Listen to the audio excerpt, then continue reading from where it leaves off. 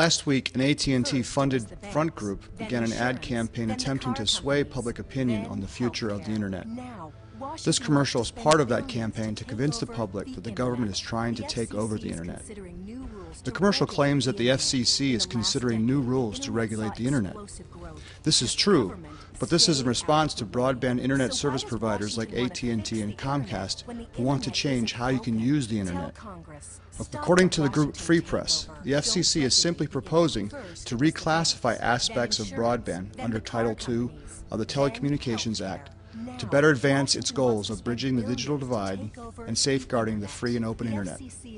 What corporations like AT&T and Comcast want to do is limit what you can do online, particularly when it comes to file sharing and other open source aspects of the internet.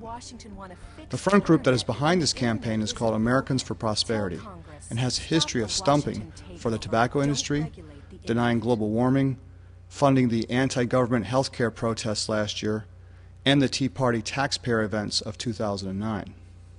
If you see this ad, don't fall for the distortions. Investigate for yourself what is happening with the Internet by going to websites such as savetheinternet.com. For more information on the front group Americans for Prosperity, check out the website sourcewatch.org.